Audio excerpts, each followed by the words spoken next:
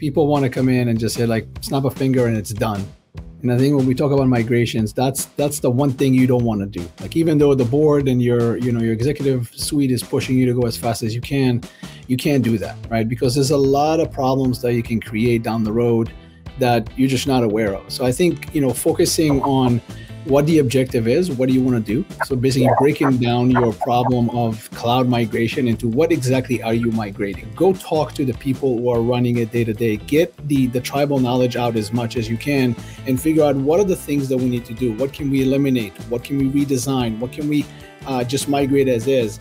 And then come up with a process that you can check these boxes and start moving these pieces to the cloud uh, one at a time and then validating and verifying that these things are happening. Once you have that and you have that process in place, then you can start squeezing the time and say, can I get this done faster?